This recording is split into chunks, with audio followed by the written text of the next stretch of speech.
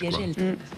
Enfin, c'est facile de dire la météo avec Daniela. Vous Mais où, oublié de préciser que Daniela n'est plus là, Ah bah oui, puisqu'elle a quitté ça. le studio et qu'elle se trouve sur le pont, là, devant euh, la station, au bord de la Seine. Elle est là, avec euh, vaguement peut-être la Tour Eiffel au bout ou pas. Avec oui, on la voit avec vaguement. sa petite robe d'été. avec sa petite robe d'été. d'été. Mais c'est une robe de circonstance, car c'est l'été, Daniela, au moins pour 24 heures. Exactement, oui, c'est l'été, il fera beau et chaud tout au long de la journée et sur toute la France.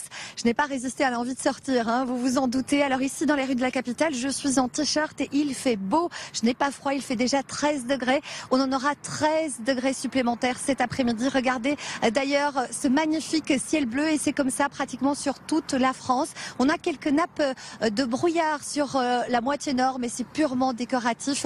Les conditions météo sont vraiment très ensoleillées. Elles vont le rester tout au long de la journée et le mercure est en hausse. Ce matin, des températures donc à 13 degrés, notamment dans les rues de la capitale, 19 degrés à Nice. Et l'après-midi, c'est vraiment ça l'info météo du jour. C'est ce pic de chaleur que nous connaissons. C'est la journée la plus chaude avec jusqu'à 26 degrés attendus ici dans les rues de Paris. On devrait en avoir 17 pour un 13 avril normal.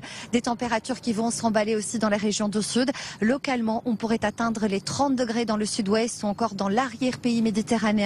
Une journée vraiment digne d'un plein été. Et ensuite, ça va diminuer par les régions du nord. Ce sera pour la journée de dimanche.